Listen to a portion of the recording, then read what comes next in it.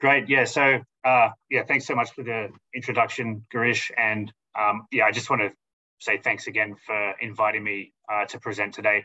Um, sorry, I can't be there in person. Uh, yeah, it turns out that Perth is a fair way away from uh, from Sydney. Um, but yeah, like I said before, uh, a bit earlier, I'll be visiting UWA uh, for the annual PhD conference in November. So yeah, hopefully I'll get the opportunity to meet some of you um, in person then. Uh, I guess, yeah, before I begin, I, you know, am obliged to say that any views expressed uh, in this presentation don't necessarily reflect the views of the Reserve Bank of Australia. Uh, you know, that said, it's kind of hard to imagine the RBA having views on the issue of, you know, normalization in structural vector autoregressions. Um, so it seems kind of unlikely.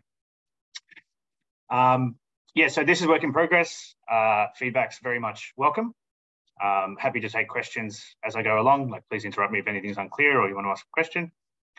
Uh, I'll just, yeah, maybe try to give a sense of, at a very high level, what this work is about before I dive in. Um, so really, it's all about trying to understand what it is that we can learn about the responses to so-called unit shocks um, and so by that, for example, I mean, say a monetary policy shock that raises the federal funds rate or the cash rate by 100 basis points on impact uh, in structural vector autoregressions that are set identified. Uh, and so by set identified, you know, I mean like, for example, I'm using sign restrictions, uh, but I'll, I'll, be a bit more uh, concrete about uh, what I mean by all of this um, as we go along. Okay, so just to begin, I guess I can give some background and um, provide some motivation for the work.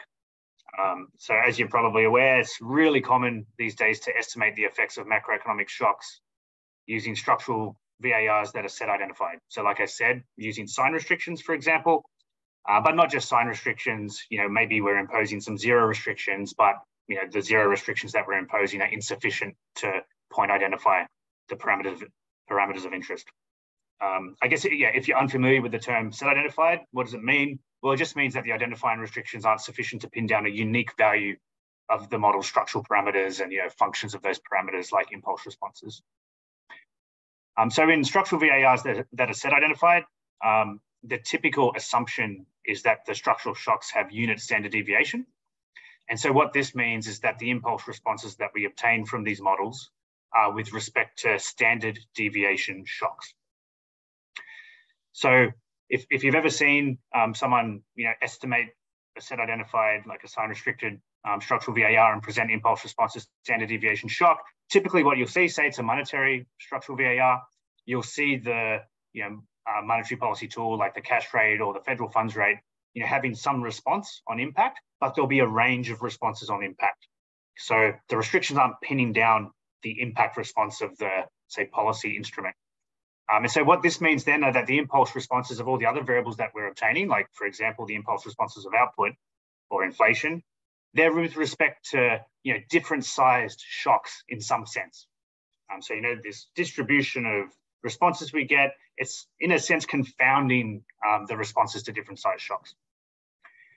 Um, and so what that kind of means is that in a lot of circumstances, the um, impulse responses we get under this normalization that the shocks have unit standard deviation aren't really or necessarily the impulse responses that are that are of interest to us to answer the economic questions um, you know that, that we're trying to answer um, and so what we arguably should be interested in in a lot of contexts are the impulse responses to so-called unit shocks and so going back to the example i mentioned on the, the title slide an example of that would be okay um, what's the effect of a 100 basis point shock to the federal funds rate or a 25 basis point shock to the cash rate or, or something like that? You know, these are the kind of questions as policymakers that we are you know, typically posing and that we want to answer. Um, again, in this monetary policy example, you know, why, why are we trying to estimate the effects of monetary policy? Because we want to understand what happens when we move the cash rate or you know the policy rate by a particular um, amount. Um, and so the impulse responses to standard deviation shocks, they don't answer that question we need the impulse responses to a fixed size shock or a unit shock.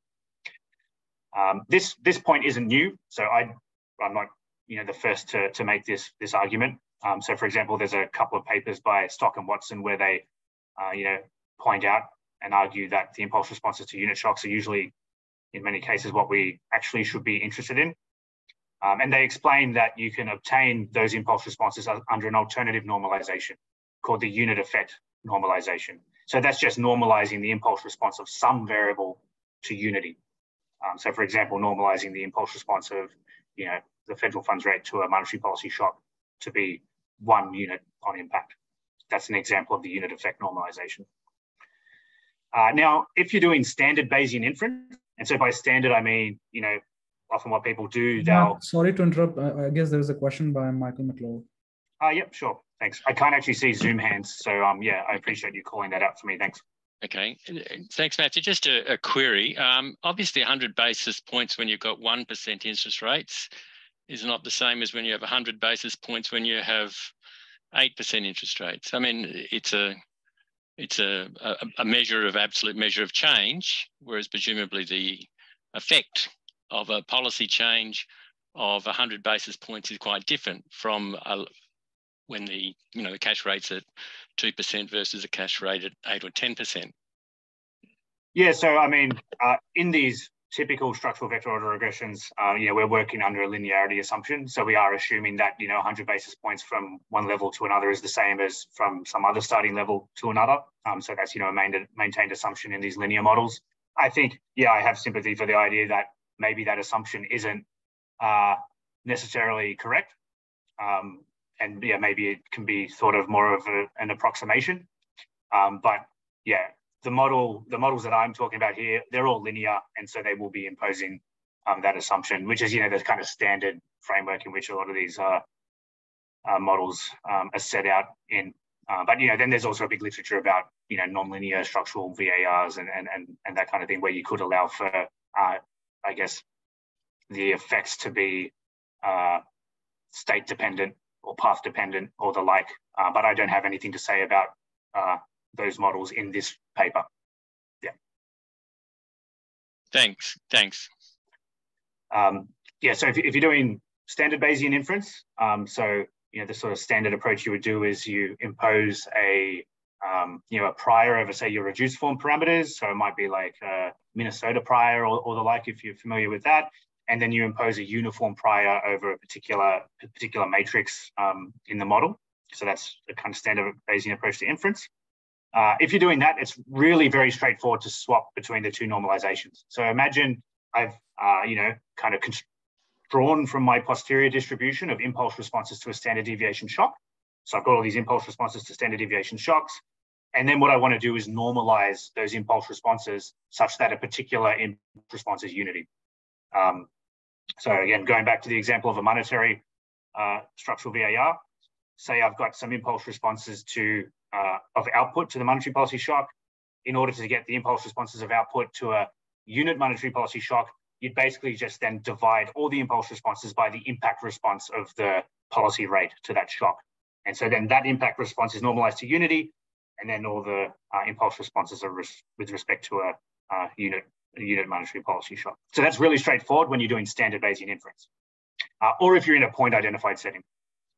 Um, however, there are problems. Um, I, I almost said well known, but actually I guess they're not that well known. Um, there's problems with conducting uh, standard Bayesian inference in set identified models, which is the setting that we're focusing on here. So in particular, because the model is set identified, that means the likelihood function is flat in some dimension. Uh, and then that implies that our posterior distribution is just going to be proportional to the prior distribution in some sense. Uh, and so then you might worry, well, if I change the prior distribution a little, then I'm changing the posterior distribution one for one. And I might be worried that the results that I'm obtaining are sensitive to that change in prior. So there's this problem of, uh, you know, posterior sensitivity to the choice of prior. Um, now, there are approaches out there that abstract from or elim eliminate that problem. So, for example, you could do frequentist inference in a set identified model, and then there's no prior, like so the prior, prior doesn't prior doesn't play a role. Um, there's no problem of posterior sensitivity, and there are other approaches too, which I'll talk about a bit later. Um, but you know, the properties of those approaches are unclear when we're interested in this impulse response to a unit shock as the parameter of interest. Typically, these other approaches focus on the impulse responses to a standard deviation shock. Matt, a quick question. So, yeah. um, just from my understanding, um, so again, there are many different ways you can, you know, achieve identification in SVAR yeah. models, right? So, for example, one case is where you think about uh, imposing the short run and long run restrictions. Obviously, sign restrictions are one. So, my understanding is that you you don't necessarily have this trade-off between uh, you know unit normalization versus standard deviation in say for example identification that is through long and short-term restrictions. It's only in sign restrictions that you're saying that you have this issue right? So if if the short run and the long run restrictions that you're imposing are sufficient to achieve point identification then mm-hmm. you know you still get to choose whether the impulse responses are to a unit or a standard deviation shock but either way you can always renormalize very straightforwardly and swap between the two correct um, so it's yeah there's not a huge issue there. There, there are some subtleties because, well, if the thing you're normalizing by, say you're doing frequentist inference in this case, and the like sampling distribution of the MLE of the impulse response that you're normalizing by, if that has mass close to zero, then when I renormalize and divide by that, I can get a distribution for the impulse response to a unit shock that might be non-standard, non-normal, and yeah, so there's some issues around that. Um, but that's a very different issue to what I'll be talking about here. Um, so that's if you're in the point identified setting. Uh, so you, there's, a, I guess, another angle to this where you could consider imposing short run or long run restrictions, but not enough of them to actually achieve point identification. I see. Right. So I could still be imposing, uh, you know, some zero restrictions, maybe some sign restrictions alongside that, and then I'll be in the set identified um, setting that we're talking about here. Um, and you know, as we go through the presentation later on, like I'll be allowing for you know fairly arbitrary sets of sign and or zero restrictions. Um, so you could consider imposing the kind of restrictions that you're talking about, as long as we're still set identified. I see. Thanks. Yeah. Thanks for the question. Um, okay, so what do I do in this paper? So um, I, I, think there's a, a, few contributions that I make. So the first thing I do, and I think um, this is arguably the main result of the paper, is that I show the identified sets for the impulse responses to unit shocks may be unbounded. So let me just explain uh, what I mean by that. So firstly, an identified set, what is that? If you're unfamiliar with it, well, because these restrictions that I'm focusing on are set identifying, you know, they don't pin down a unique value of the parameters of interest. They pin down a set of parameter values, okay? So we impose these restrictions. We get a set of impulse responses rather than a unique impulse response given any value of the reduced form parameters. And what I'm saying here is that if the parameter of interest is the impulse response to a unit shock, those identified sets can be infinite in length. So they can be unbounded. So what that means is that set identifying restrictions have the potential to be extremely un uninformative about the impulse responses to unit shocks. So, you know, going back to this monetary policy example, which I'll keep coming back to because I am interested in monetary policy, it's possible that given a set of, say, sign restrictions on impulse responses, uh, if we're interested in the effect of a 100 basis point shock to the federal funds rate or the cash rate, those sign restrictions might not tell us anything at all about those impulse responses. So we, we may learn nothing about them, which is, I guess, a kind of uh, potentially worrying result. Um, but it's not always the case. Um, and I'll, I'll show you in an empirical application um, that this, I guess, does arise, but you know, it's not guaranteed to arise. The second thing I do is I so take this observation that these identified sets may be unbounded, and I discuss some implications of this observation for conducting so-called prior robust Bayesian inference. Um, so I'll be focusing on this approach to inference um, it's a it's a fairly recent approach proposed in this paper by Raffaella Giacomini and Toru Kitagawa um, in Econometrica. So these are a couple of co-authors of mine, uh, and I think it's I think it's a nice approach to focus on in this setting. Um, it's a natural approach because it combines sort of features of Bayesian inference with um, basically a, an approach to eliminating this prior sensitivity issue that I um, sort of alluded to or, or, spoke a bit about earlier. Um, but know, a lot of the implications I'm talking about, similar issues will arise in a frequentist setting as well. It's just that you know, not many papers in the literature actually do frequentist inference in set identified uh, models. So that's why I'm, I'm going to be focusing on, the, on this, this approach.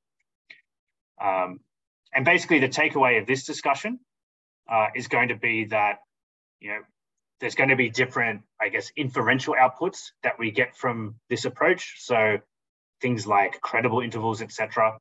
Um, and whether those credible intervals are bounded or not is basically going to depend on the posterior probability that the identified set itself is unbounded. And I'm going to argue that it's important for us to understand how often the identified set is unbounded so that we can sort of transparently communicate about the informativeness of the restrictions with respect to these impulse responses. Um, so to facilitate that, I uh, discuss how to check for unboundedness of these impulse responses in practice. So I have some you know, theoretical results and uh, I propose some numerical tools for checking for unboundedness. And then I argue, you know, you should use these tools and sort of report the posterior probability um, that this unboundedness issue may arise. Uh, and then finally, I have an empirical application that, you know, hopefully convinces you that all of this is worth worrying about. So I'm going to be estimating the effects of a 100 basis point shock to the federal funds rate using some existing um, sets of identifying restrictions from the literature. Uh, and I guess the takeaway from the empirical application is going to be under some fairly influential sets of restrictions in the literature, you cannot rule out the possibility that the identified set is unbounded um, at any value of the model's reduced form parameters, uh, which implies that those identifying restrictions essentially tell you nothing about the impulse responses to a unit shock. Um, but then as we add more and more restrictions, uh, we find that the uh, identified set is unbounded with lower posterior probability. Um, so we can still learn something about these um, impulse responses of interest. So that's kind of the contribution of the paper in, in a nutshell. And you can kind of think of this, I guess, as a bit of a roadmap for how the um, presentation will unfold, um, if you find that useful. Uh, any, any questions before I move on? So just a just a clarification, um, Matt. So basically, if I if I get this right, it's kind of a cautionary tale regarding uh, normalizations, right? Yeah, in a sense. Um, I, I, I kind of see sort of, I guess, two or three aspects to it. So one, yeah, you know, one is okay. In some contexts, this is the parameter of interest that we should be looking at. This impulse response to unit shock. But like I said, I'm not the first to say that. Uh, number two is if that is the thing you're interested in, then you should be worried that the restrictions aren't telling you anything about that parameter. Um, and you'll see a bit later that, you know, in the case where the restrictions don't tell you anything about that parameter, then it's really going to be the prior distribution under the standard Bayesian approach to inference that's driving all of your results. And once you apply techniques that abstract from the prior distribution, like this prior robust Bayesian approach to inference, that's only that's that's when you're going to realize that uh, you know it's just the prior driving everything. Um, and I guess the other thrust is, I yeah, I'm going to argue. I think it's important for us just to be very transparent about how informative these restrictions are about the parameters um, that are of interest. Um, and, that, and that's really a theme of you know this Giacomini and Kitagawa paper and a number of other related papers. Um, you know, it's it's all about not letting our results be driven by uh, hidden assumptions that are implicit in a prior that may be somewhat arbitrary. We really want to be clear about where's the information coming from um, on which we're drawing our inferences. I see. Uh, but yeah, there, there, certainly is a cautionary challenge. Every time you see a paper that uses sign restrictions or the like, you should be asking yourself and the presenter uh, these questions, I think. Uh, I'll quickly just mention how this relates to some of the existing literature. Um, so like I said, I'm not the first person to you know suggest that we should be looking at impulse responses to a unit shock. So there's a paper by Renee, uh, now Fry McKibbin and Adrian Pagan. So they make this point in the paper, and a couple of papers by Stock and Watson where they really push the idea that we should be looking at um, unit effects.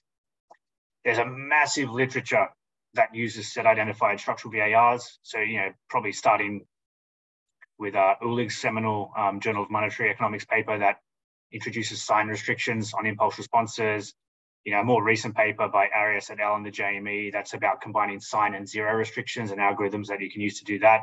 And then these latter two papers are frequentist approaches to inference in set identified structural VARs. Like I mentioned earlier, a lot of the stuff I'm going to say, you could imagine it applying quite naturally in a frequentist framework as well, but I'm not going to say a lot about that explicitly. The focus is going to be on this robust Bayesian approach to inference. Um, there's a literature that expresses concerns about the standard Bayesian approach to inference or this uniform prior um, over a particular matrix in, in a particular parameterization of the model. So Baumeister and Hamilton, they have a sequence of papers where they argue against the standard Bayesian approach to inference. Uh, and I'm very sympathetic to the points they make there. Of course, their kind of suggested uh, approach or like answer to this problem is to specify a prior directly over the structural parameters of the model. Um, and you know, if you believe that prior, then you believe the posterior that comes out of that. Um, whereas the approach I'm taking is saying, okay, we're not willing to write down a prior of the structural parameters. We're going to apply an approach that kind of gets rid of the problematic part of the prior. Um, and I'll explain uh, more about what I mean there as we go on. And then finally, this relates very closely to um, this literature on robust Bayesian inference and set identified models, which I've um, contributed to in some way um, with a couple of co-authors. So, you know, this paper by Raffaella and Toru in Econometrica, you know, they point out this problem with, which I kind of is, I guess to some extent, well known before that about inference in set identified models being sensitive to the choice of prior. Um, and then they suggest a general approach to dealing with that, this prior robust Bayesian approach to inference. And then in their paper, they apply that in the context of structural VARs. Um, I have another paper with them where we extend that approach to inference in, you know, so-called proxy structural vector autoregressions, which is where you have an external instrument for a shock and you use that to, to point identify um, impulse responses. Um, in that paper, we noted the possibility that the identified set could be unbounded, but we didn't explore that any further or you know suggest any way to, to really think about that.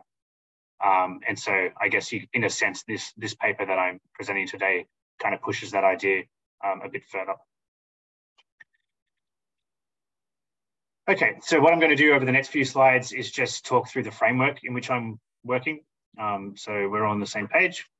Um, so on this slide, I'm just going to talk through, uh, you know, what is a structural VAR, and then I'm getting down to a particular parameterization of the model that will be very useful um, for what I'm doing.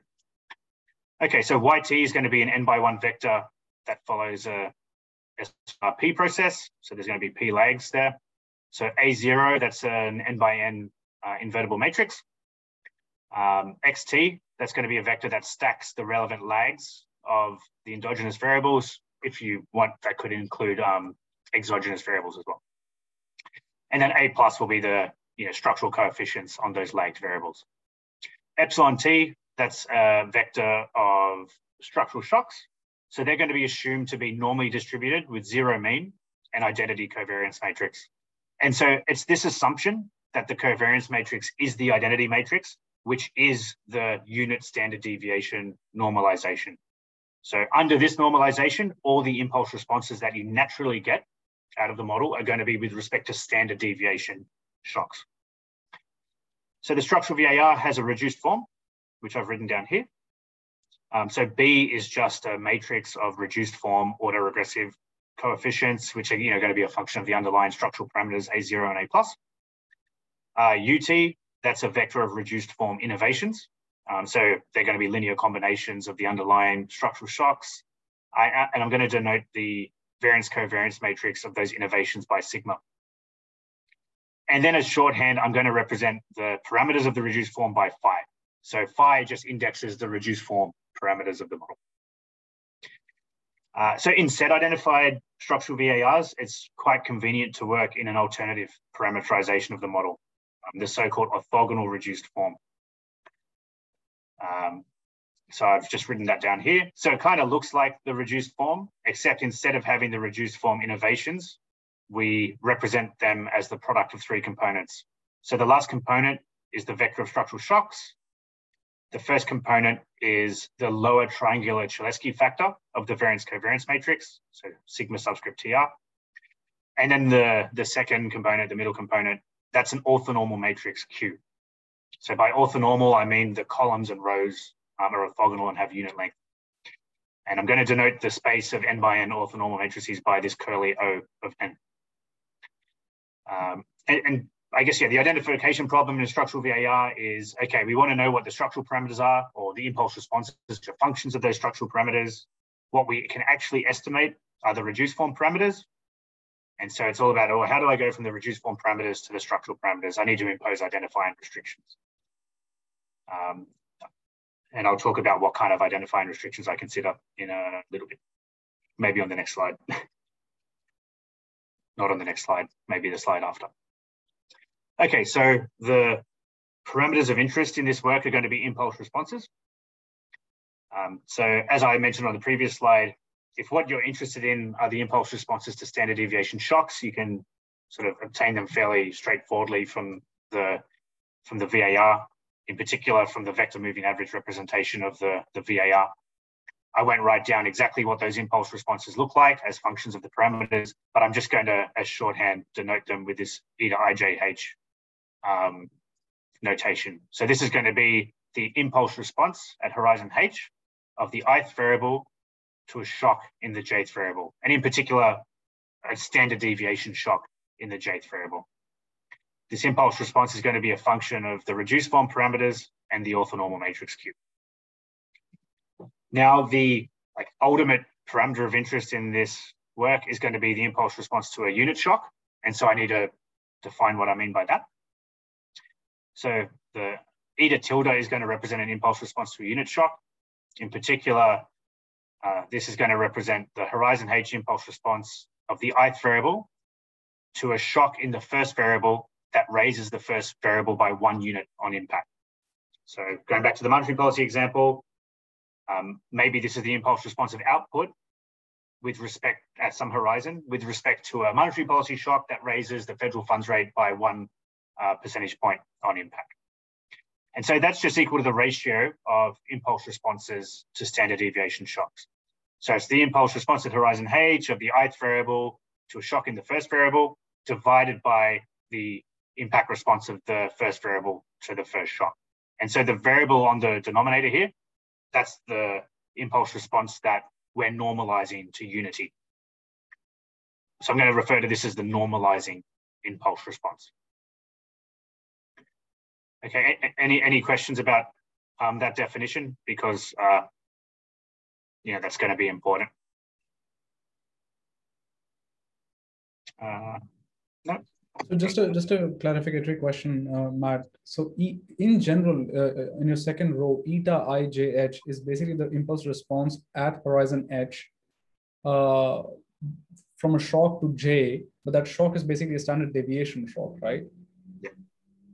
So how do you get from there to the definition of the unit shock that you're getting? Because ultimately, the the right hand side variables are still standard deviation shocks at horizon h and uh, the contemporaneous one, right? So I, am not able to tie in how exactly, you know, the, the right hand side becomes a unit shock response at horizon h. So if if you look at um, so imagine what eta tilde one one zero would be.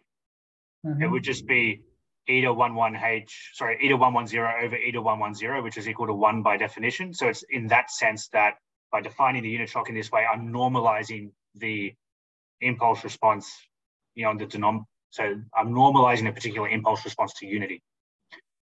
I see. I see. Yeah. Yeah. Um, so because by definition, yeah, the impact response of the first variable to the first shock, with to a unit shock in the first variable, that's going to be one by definition. Um, so yeah, just basically dividing by the impulse response that I want to normalize to one. Um, I guess it's worth making the point that, yeah, even though the way I've sort of defined this here has me normalizing the you know impact response of a particular variable to unity, you can generalize this if you want to think about normalizing other impulse responses to unity. So in some settings, maybe you want to normalize like a longer horizon impulse response to a certain value.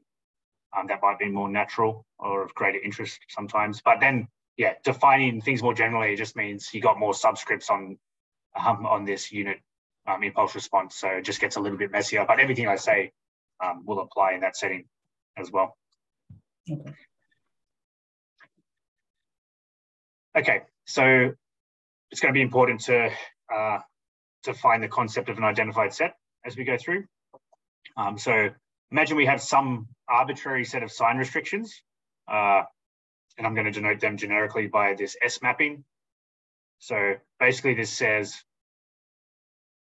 yeah, given some value of the reduced form parameter, uh, so imagine like a particular draw of the reduced form parameter from its posterior, I have some sign restrictions on some functions of the structural parameters, and those sign restrictions are going to truncate the allowable values for the orthonormal matrix. Um, so yeah, these could be sign restrictions on impulse responses. They could be sign restrictions on structural coefficients, sign restrictions on long run impulse responses, uh, and so on. So it's like a fairly generic set of potential sign restrictions. And we're going to allow for zero restrictions as well. So represented by this F mapping.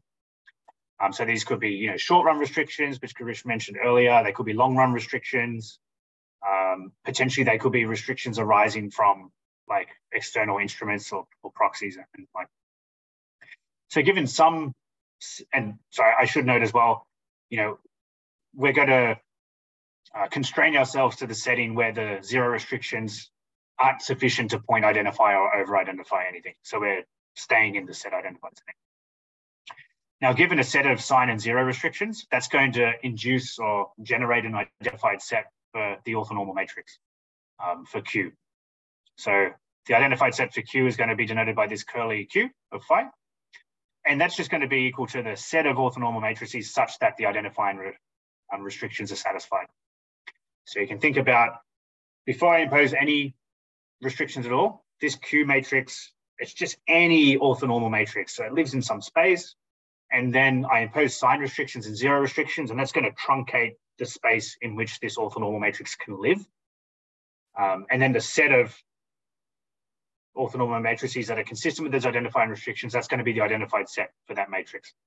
Any value of Q within that identified set is going to have the same value of the likelihood function. So it's going to be observationally equivalent. And so then given some identified set for Q, that's going to induce an identified set for whatever parameters are of interest. So for our impulse responses. Um, so the identified set for our impulse responses to standard deviation shocks or impulse responses to unit shock, that's just going to be the set of values of those impulse responses as Q varies over its identified set.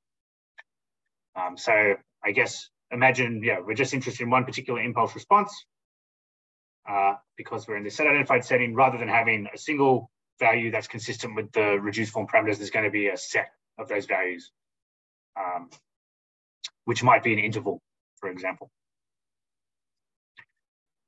Okay, so that's, I guess, kind of the, the setup and the, the framework. Um, now I was going to talk a little bit about how does this unboundedness problem arise? Um, what's the intuition? Okay, so what I've done here, I've just rewritten the definition of an impulse response to a unit shock. Okay, and so because we have set identifying restrictions, those restrictions are going to generate an identified set for the impulse responses to the standard deviation shocks, so for the numerator, for the denominator. And so straight away, maybe the intuition is, um, is clear.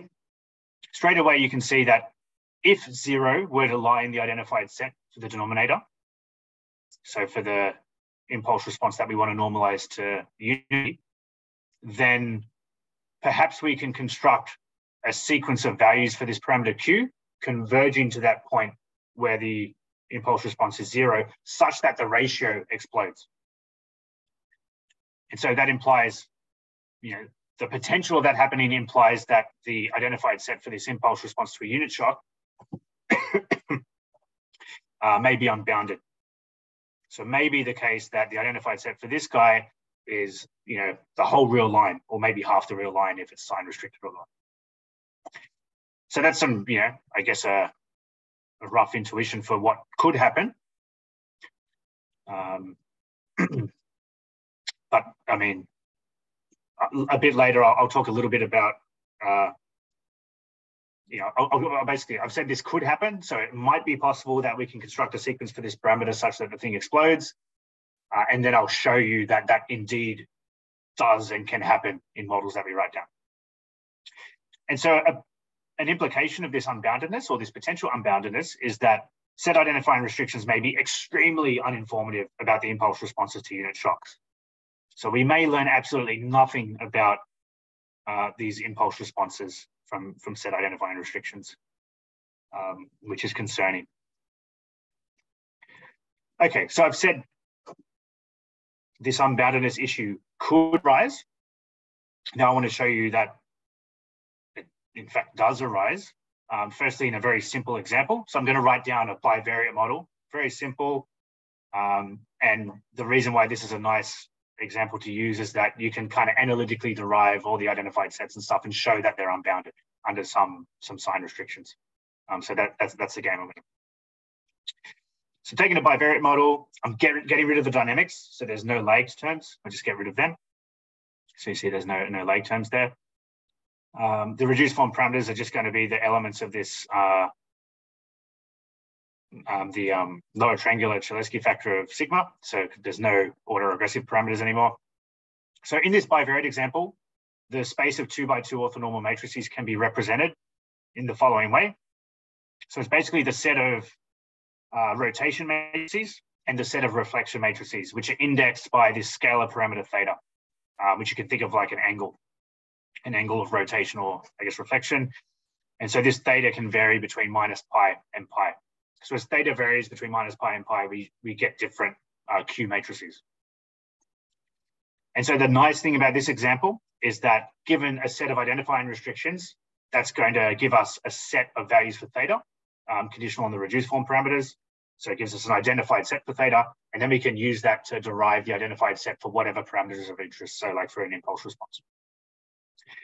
So in this example, I'm going to impose two sign restrictions. So firstly, I'm going to impose that the impulse response of the first variable to the first shock on impact is non-negative. So um, again, with respect to standard deviation shocks, and the impulse response of the second variable to the first shock on impact is non-positive. So just the two sign restrictions and then see what happens.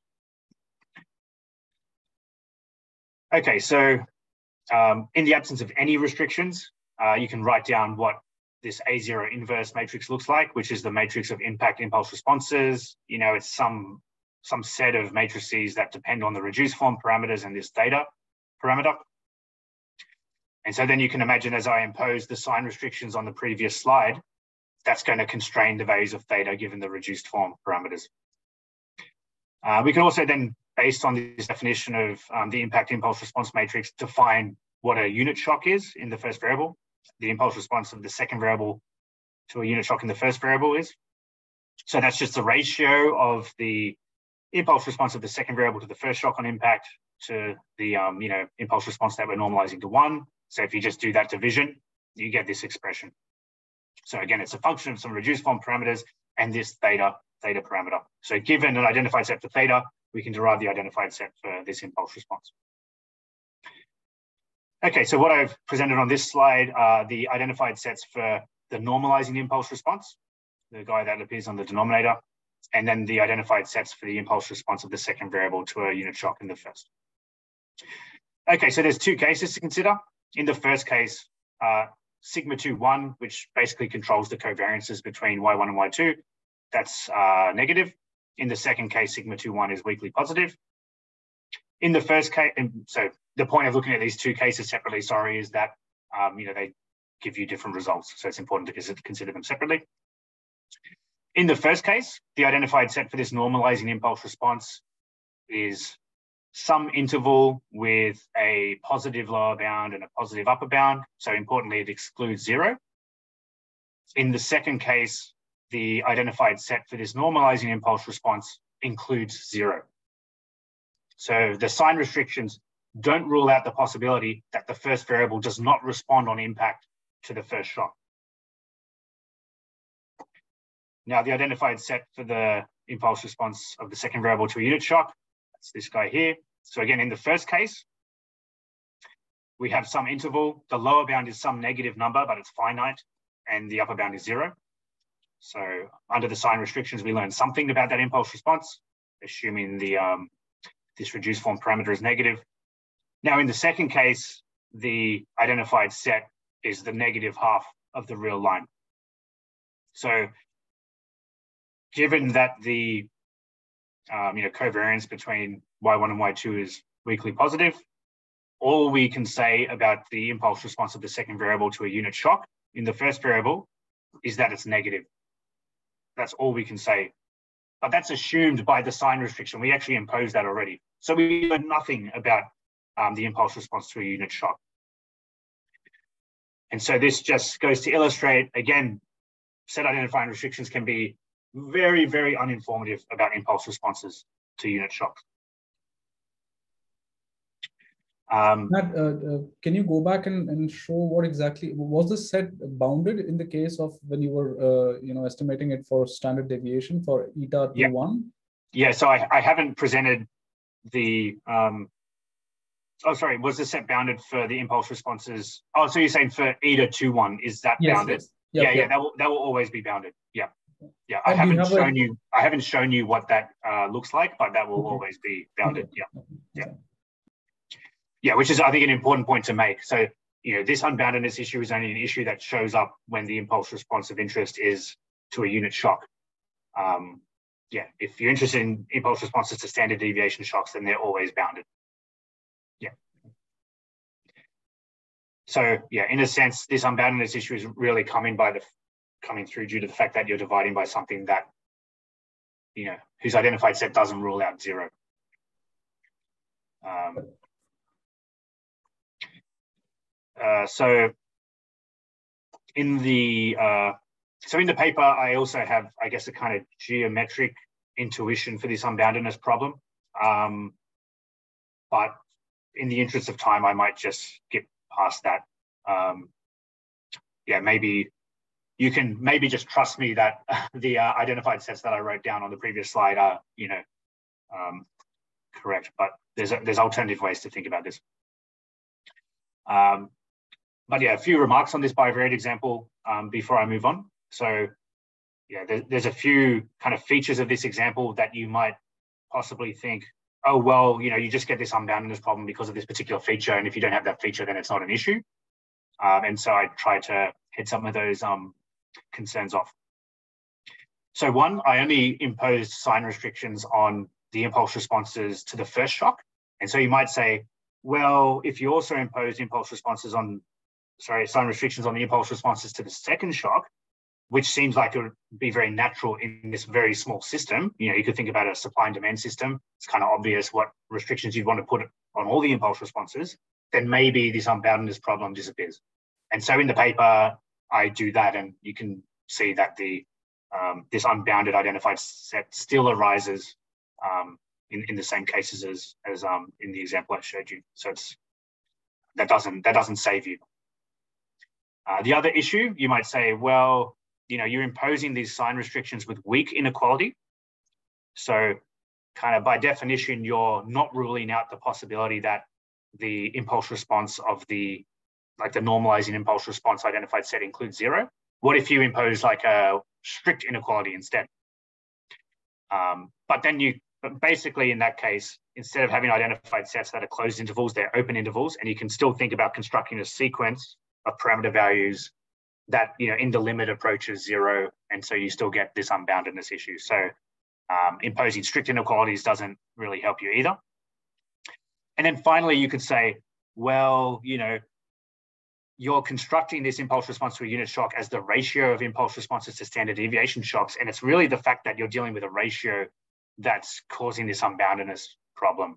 Um, and so instead of doing that, why don't you actually just write down a parameterization of the model that embeds the unit effect normalization, and then you won't have this unboundedness problem. And so I, um, I show that that doesn't sort of save you either.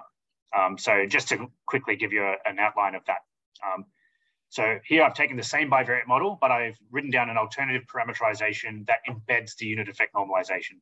So we've got this H matrix, the coefficient matrix on epsilon t, the shocks, and I've normalized the diagonal to one to begin with. So, you know, uh, we've got our unit effect normalization already, a one unit shock in epsilon t. Sorry, a one unit shock in the first variable is going to raise the first variable by one unit on impact by definition. Um, and then because we're normalizing something to one, it means we can't normalize the variances of the structural shocks to one anymore. So we need to allow them to just be some, you know, some flexible um, parameters, which are represented by omega. And so then what you can basically do is, you know, write down a system of equations linking the reduced form parameters to these underlying structural parameters, these H's and these omegas. Um, and then you can solve that system of equations um, for H21, which is the impulse response of the second variable to a shock in the first variable that raises the first variable by one unit. You can solve for that parameter as a function of um, H12, which is this other impulse response. That's a quadratic system of equations. So there's going to be two solutions. I plot them here. So um, when sigma 2, 1 is less than zero, um, this is the kind of set of solutions that we get.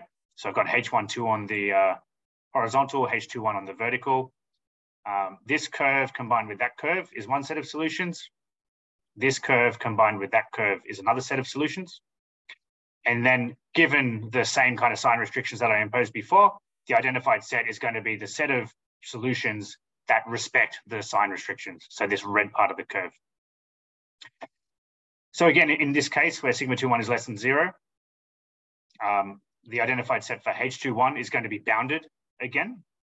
This kind of asymptotes to some finite. So H21 asymptotes to like some finite um, and negative value as H12 goes to infinity. But when sigma 2, 1 is weakly positive, the identified set for H21 remains unbounded. So you can see um, the values of H21 shoot off to minus infinity as H12 approaches some, some value. Um, so doing things in this alternative parameterization also doesn't save you from this unboundedness problem, but it's still nice to work. It's nice to work in this orthogonal reduced form and define things as ratios because then we can utilize a bunch of the existing machinery for um, you know, conducting inference and computing identified sets that already exist out there. Okay, so, so far what I've done, I've shown you that identified sets can be unbounded um, in a simple example. Um, and then in the paper, I talk through, well, what does this mean for conducting robust Bayesian inference with a little bit of discussion about what it means for conducting frequentist inference. Um, so let me talk through what robust Bayesian inference is, uh, and then I'll talk about how this unboundedness problem kind of affects that approach. Okay, so imagine that we've written down some prior distribution for the set of parameters in the orthogonal reduced form. So call it pi theta. We can always decompose that prior distribution into two components. So the first component is uh, a prior distribution over the reduced form parameters. The second component is a conditional prior for q given phi. Now, the standard Bayesian approach to inference would be I put a prior on phi, like maybe a Minnesota or something, and then I use a uniform prior for Q given phi. Now, because Q doesn't appear in the likelihood, means the likelihood function is flat with respect to Q. Once we fix phi, that means that this part of the prior is never going to be updated by the data. So this part gets updated, this part doesn't get updated because Q doesn't appear in the likelihood. So then you might worry, well, if I change the prior for Q given phi a bit, I'm going to be changing the posterior as well. And so maybe the conclusions that I draw my posterior inferences might be sensitive to changes in the prior. And so, yeah, that, that's a problem that's been known for a long time. And so in this econometric paper, Giacomini and Kitagawa, they propose a solution to that problem. So what they say is, well, rather than having a single prior for Q given phi, let's consider the class of all priors for Q given phi that are consistent with the restrictions, the identifying restrictions, in the sense that they put probability one on the identified set so now instead of having a single conditional prior, I've got a class of priors. For every prior in that class, I can combine that with the posterior for the reduced form parameters. That's going to give me a posterior distribution for the um, full set of parameters. So this capital pi of phi, uh, sorry, of theta. So I've got a class of posteriors for the structural parameters, and that's going to indu induce a class of posteriors for whatever parameters are of interest. So our impulse responses. And so then they suggest ways to summarize that class of posteriors. So for example, rather than having a single posterior mean, I'm now going to have a set of posterior means because I have a class of um, class of posteriors. So if I have a scalar, you know, parameter of interest, like an impulse response, rather than having a posterior mean being a point, it's going to be an interval. And that interval is going to contain every possible posterior mean that you could obtain given this class of priors. And you can think about setting up, you know, or, con, or constructing um, classes of, uh, or sorry, sets of posterior quantiles. So rather than having a median, I have a set of posterior medians. Um, there's like a, you know, robust Bayesian analog of a credible interval, etc. So there's different ways to summarize this class of posteriors. Uh, and I guess an important point here is that you know, we don't actually need to write down this whole class of priors and derive the posterior, etc. Basically, all we need to do to summarize this class of posteriors is compute the bounds of the identified set for the parameter of interest. So we get posterior distributions for those bounds, lower and upper bound. And then all these summary statistics can be computed from those posterior distributions of the bounds. And, and thinking through that a little bit, um, which I do in the paper, uh, basically then whether those summaries of the class of posteriors will be bounded is going to depend on the posterior probability that the identified set itself is bounded. So imagine, okay, we're constructing a set of posterior medians that has lower bound equal to the posterior mean of the lower bound of the identified set, and similarly for the upper bound. If the identified set is unbounded with positive posterior probability, then I'm averaging over something that's infinite in length. And so then the average is also going to be infinite in length. So straight away, unboundedness of the identified set is going to bleed into unboundedness of the set of posterior um, means. And then we can think also about, well, how does it affect the um, sets of posterior quantiles and credible intervals? So in the context of the bivariate example, I talk, I spent some time um, sort of thinking about this in, in a very simple setting. Um, I might just skip over the detail here, but the important point is if we know how often the identified set is bounded or unbounded, then that's going to tell us which inferential outputs, which summaries of the class of posteriors are going to be bounded or unbounded as well. And therefore, on that basis, I argue it's very important to understand, to compute, and to report, um, you know, some measure of how often or with what probability these identified sets are, are bounded or guaranteed to be bounded. Because that's going to be really important for understanding how informative the restrictions are. And so to that end, I developed some tools, um, some results and tools that help us to do that. Um, so, uh, so firstly, the first thing I noticed that in order for the identified set to be unbounded, it's necessary for zero to lie within the identified set for the impulse response that we're normalizing to one. Um, and the intuition is obvious, right? If zero doesn't lie within the identified set for the denominator, then I can't possibly construct a sequence of parameters converging to zero such that the, sorry, so that the denominator converges to zero and the ratio explodes. It just can't be done. So that's a, that's a necessary condition for, unbound, for unboundedness. But in the paper, I talk about why it's not also sufficient. So it could be possible that zero lies within this identified set, but the identified set for the impulse response to a unit shock remains bounded. And I, I show this by basically writing down an example where, where that occurs. So it's, it's a necessary condition. I then derive a sufficient condition for zero to lie within the identified set for this normalizing impulse response. So basically, if the number of sign and zero restrictions is less than or equal to the number of variables in the VAR, then zero always lies within the identified set for the normalizing impulse response. So it, uh, I guess a, a, way to describe this um, is that if I have sort of an insufficient number of restrictions or relatively few restrictions, then I can never rule out the possibility that you know the first variable doesn't respond on impact to the first shock. In which case, I should be worried about the potential for the identified set for the impulse response to a unit shock to be unbounded. Um, a couple of remarks, I guess. So um, this condition that I've you know just outlined, it only applies when there's restrictions on a single column of Q, but it turns out that's the case in many applications. So I argue it's fairly relevant empirically. Um, and although, you know, so we have to have a very small number of restrictions here.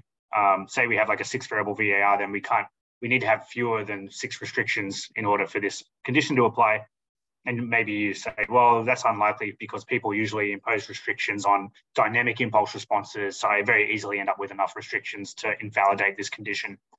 Um, but I can point to a number of papers where um, you know, they don't impose these dynamic conditions, um, sign restrictions, and this sufficient condition applies. Matt, so uh, is it possible that you your you know eta one one zero it doesn't have zero in it, uh, but it in itself is unbounded, uh, but then your uh, you know um, identified set for the unit shock is bounded itself. Sorry, are you I didn't quite get the first bit of that. So you're saying, is it possible let's say, let's say you to... don't have zero. Let's say you don't have a zero in eta one one zero, and and yeah. the set itself goes on to you know unbounded values, say in the positive half of the real line. For, then, for the normalizing impulse response. So yes, yeah, the so the impulse responses to a standard deviation shock, including the normalizing impulse response, they'll always be bounded. Oh, they'll always be bounded. Okay. Yeah, yeah, they'll always be bounded. Yeah. Um, okay. okay. Yeah. Yes, you, you said that before as well. Okay. Mm. That's right. Okay. Um, so in, in the case when this sufficient condition isn't satisfied, so if we have restrictions on multiple columns of Q, or if we have more restrictions than um, variables in the VAR, then it could be the case that the identified set for the normalizing impulse response includes zero, or maybe it doesn't. Um, so I provide some uh, basically numerical tools in order to assess that, to check that. So I won't go into detail about that unless people are interested.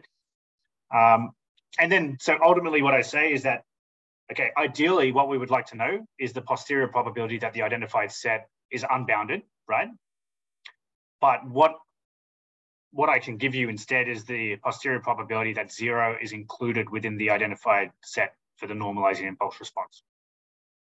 And like I said, that doesn't necessarily map always into the identified set for the impulse response to a unit shock being unbounded.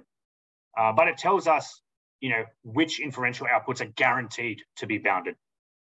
Um, so we can kind of get a, I guess, a, a, lower bound on how severe this unboundedness problem might might be. Um, and then we can always go and try to numerically approximate the bounds of the identified set for the impulse responses to a unit shock and in practice, if they're like bonkers large, then we'd suspect that those um, identified sets are in fact unbound.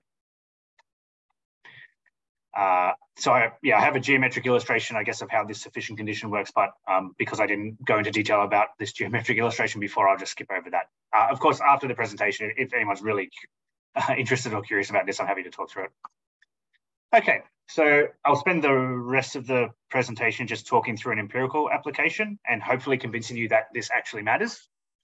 Uh, and maybe also, if, yeah, if you are a little bit lost because I haven't explained things uh, clearly enough, then hopefully the empirical application um, makes some things um, clearer. Okay, so the empirical application is all about estimating the effects of US monetary policy.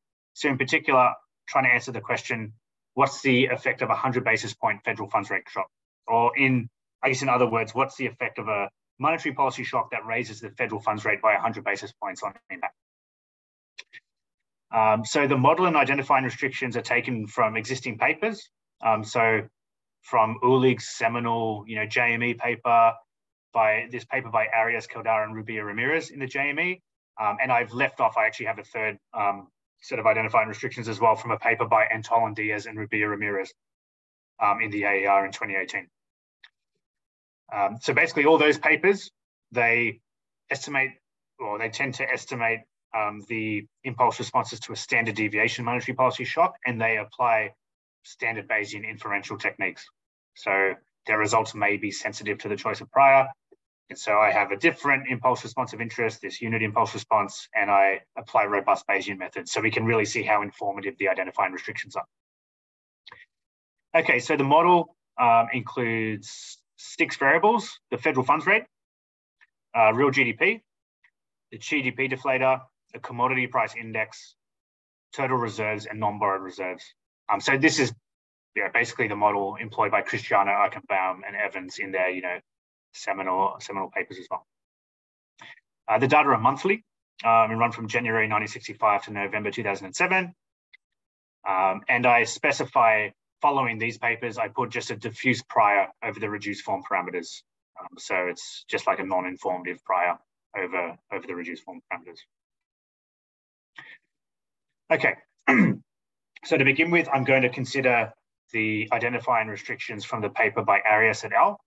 So they describe their restrictions as restrictions on the systematic component of monetary policy. And so the basic gist of their approach is that they interpret the structural equation for the federal funds rate as a monetary policy reaction function. So you could think of it like a Taylor rule. And then they impose sign and zero restrictions on the coefficients of that reaction function to be consistent with, you know, the kind of standard standard Taylor rules that we would write down in new Keynesian models. So in particular, they impose that uh, the two measures of reserves don't enter the monetary policy reaction function. So in other words, the Federal Reserve does not move the federal funds rate in response to changes in reserves. So that's a couple of zero restrictions on um, some structural coefficients. They impose that the federal funds rate is not decreased in response to higher output or prices. So they would argue that that's consistent with the kind of Taylor rules that we would write down in New Keynesian models. So that's a couple of sign restrictions on structural coefficients. And they impose that the federal funds rate doesn't decrease in response to a positive, monetary policy shock, which seems fairly natural. Right? We're looking at a shock that raises the federal funds rate or at least doesn't uh, decrease the federal funds rate on impact. Plus, there's also a sign normalization on a particular structural parameter. I won't, I won't go into detail on, on what that is. So if we count up the identifying restrictions, there's four sign restrictions and two zero restrictions. Um, so if I did my math right, that's six restrictions in total, which is equal to the number of uh, variables in the VAR. So that means that the sufficient condition that I talked you through before applies, it's satisfied, and the impact response of the federal funds rate always includes zero. Sorry, the identified set for the impact response of the federal funds rate always includes zero. So these restrictions never rule out the possibility that the federal funds rate does not respond on impact to a monetary policy shock. So we should be worried about this unboundedness problem potentially occurring. So if I go and actually try to uh, approximate the bounds of the identified set, for the impulse response to a unit monetary policy shock using some numerical tools, which I won't go into, you just get, you know, like insanely wide bounds. Um, obviously, they're not exact, you know, they're not infinite because we're doing things numerically, but they're very, very, very, very, very, very wide, um, which suggests that these identified sets are in fact um, unbounded. But obviously, we can't say that with certain. Um, but so what would happen if you just went and did standard Bayesian inference in this setting? So this is what I'm going to, going to show on this slide. So on the left-hand side, I have the federal funds rate, the impulse response to a unit shock in the federal funds rate. On the right-hand side, I have the impulse response to of output to that shock in the federal funds rate. The uh, blue line is the posterior median, and the blue shading represents a 68% credible interval. Um, and this is all under like a the standard kind of uniform prior on the orthonormal matrix. And so you see that the posterior, well, firstly, the posterior median, looking at that, it suggests that output falls in response to a positive monetary policy shock. I mean, that's consistent with theory. Um, but then we also see the posterior places substantial probability mass on quite large declines in output. You know, there's substantial mass down at like, um, you know, declines exceeding 3% in response to a 100 basis point shock.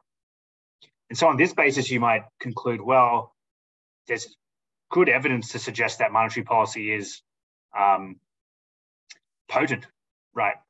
Um, but what I've just told you is that the identified set for these impulse responses to a unit shock is always unbounded. So the set of posterior means, medians, all the quantiles, robust credible intervals, they're also always unbounded, or it seems like they're always unbounded.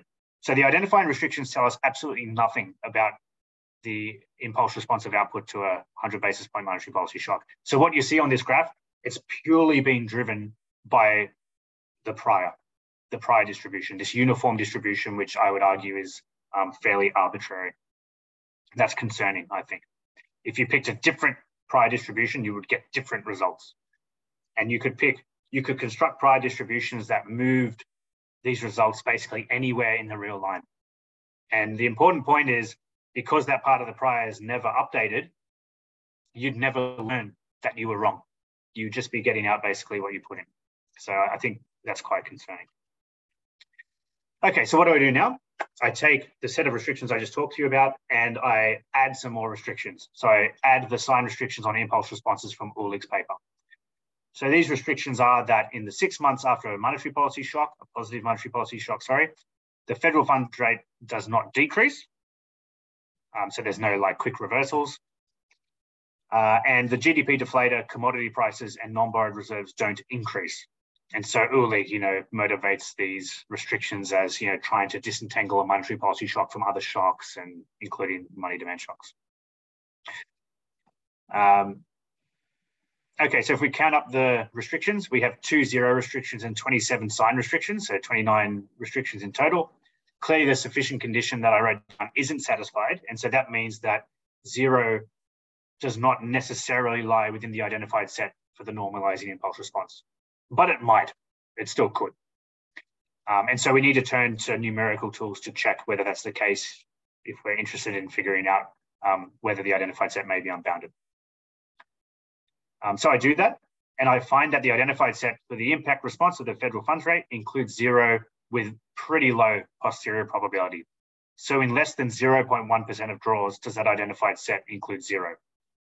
So most of the time, the restrictions rule out the possibility that the federal funds rate doesn't respond to the monetary policy shock, but it still occurs sometimes with low posterior probability. And so because that number is not zero, that means that the set of posterior means will still be unbounded because I'm going to be averaging over something that's unbounded. But the set of posterior medians, you know, sets of posterior quantiles and robust credible intervals, they're all going to be bounded as long as you don't look at extreme kind of quantiles or extreme um, credibility levels. And so on this slide, I've um, sort of plotted the results that we get under these restrictions. So um, the solid blue line and you know the blue stuff is basically you know the standard Bayesian um, output that I showed you before. Um, the new stuff is yeah the, the, the stuff in red. This is the robust Bayesian output. So the solid red lines, they represent the set of posterior medians. So if we fix a particular impulse response, the set of posterior medians contains every possible posterior median that would be consistent with the identifying restrictions um, given the data. And then the dashed lines are like a 68% robust credible interval. And so that's an interval that receives at least 68% posterior probability, regardless of the choice of prior. And so if we look at the standard Bayesian output for the output response on the right-hand side, looking at that, you'd probably conclude that output falls with fairly high posterior probability, right? Like most of the posterior, at least at some horizons, most of the posterior is well below zero. But once we look at the robust Bayesian output, we see that the set of posterior medians and certainly the uh, robust credible interval includes quite large increases in output in response to the shock. So the restrictions appear like they're not super informative about the output effects of a 100 basis point uh, monetary policy shock. And so the choice of prior here, again, is driving in inference to some extent. If we picked a different prior, we could get a posterior, you know, somewhere else in, in, in this region. Okay. And then finally, I combine the two sets of restrictions that I had on the previous slides with some additional so-called narrative restrictions from this paper by Antolin Diaz and Rubio Ramirez in the AER. So basically the idea behind narrative restrictions is that rather than putting restrictions on the structural parameters, I put restrictions on functions of the structural shocks in particular periods. So for example, I can restrict the signs of structural shocks in particular periods or their contributions to you know, forecast errors in particular periods. Um, so in particular, um, the restrictions are that the monetary policy shock in October 1979 was positive and was the overwhelming contributor to the forecast error in the federal funds rate. So 1979, October 1979, that's when Volcker, you know, jacked up the federal funds rate, you know, widely considered to be an example of a positive monetary policy shock.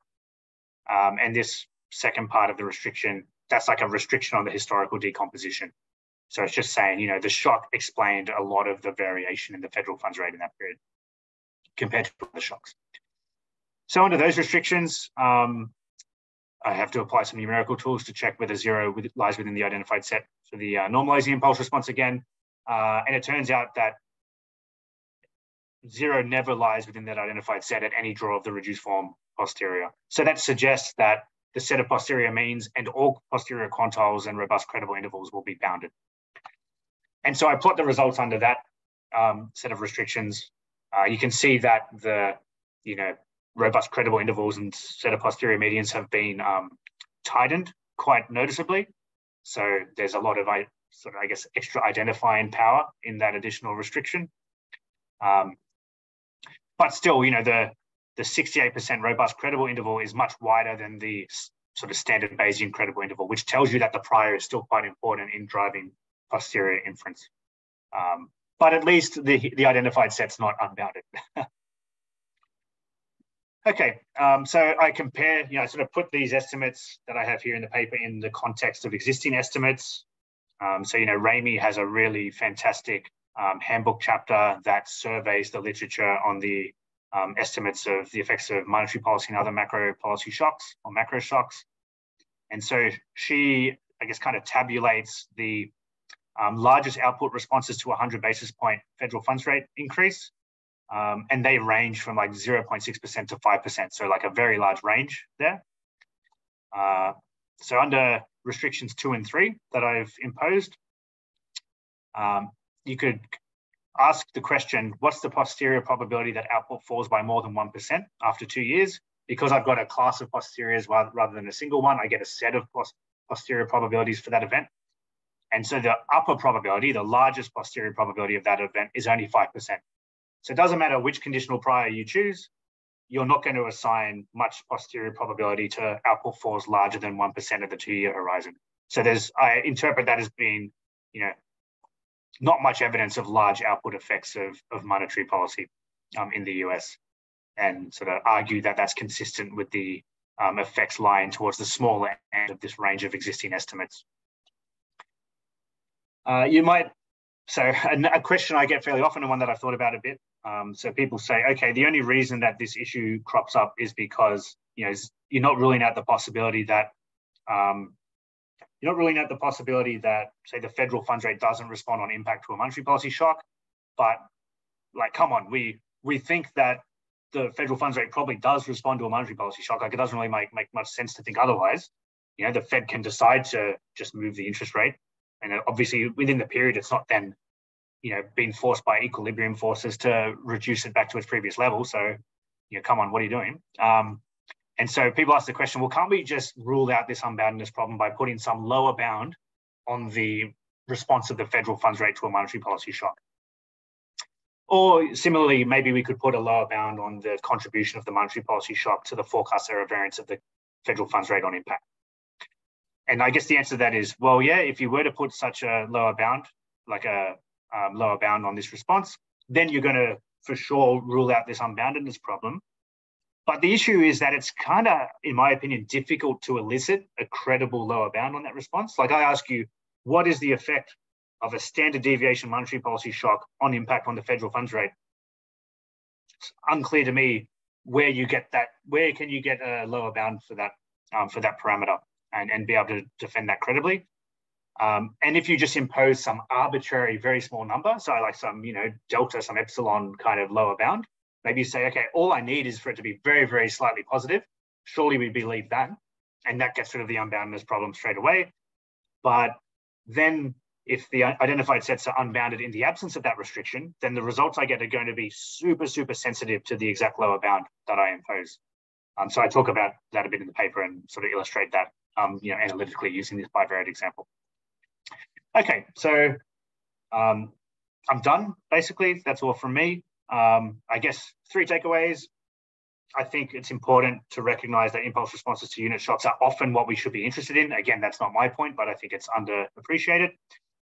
Um, another thing that I think is very underappreciated is that set identifying restrictions may be uninformative about those particular impulse responses in the sense that we learn absolutely nothing about them. I argue it's important for us to transparently communicate about the informativeness of the restrictions, for example, by reporting the posterior probability that you know zero lies within the, within the identified set, the normalizing impulse response, and hopefully, hopefully the empirical application has convinced you that this is actually something we should worry about, in the sense that there exist very influential sets of identifying restrictions that suffer from this this problem. Um, and the other thing, yeah, thanks so much for listening. I, I really appreciate you giving me the opportunity to, to present today, and I'm ha happy to hang around and take questions. Thanks a lot, Matt. Uh, very interesting and innovative piece of uh, research. Um, we are out of time officially, so maybe uh, what we can do is we can end the seminar uh, officially. And if people have questions, uh, I have a few. Uh, then maybe you can hang around and answer questions. does that sound okay? Yeah, I'm, I'm more than happy to do that. Excellent, great. So Simon, Sean, maybe can we stop the recording and let people go if they want to, and those of us who have questions can hang around.